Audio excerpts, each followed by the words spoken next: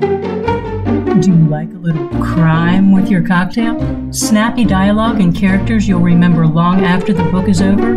Welcome aboard as cruise director Kennedy Reeves finds herself keeping the passengers entertained, juggling the corporate office's crazy ideas, and solving whatever mystery has boarded in the Kennedy Reeves Mystery Series.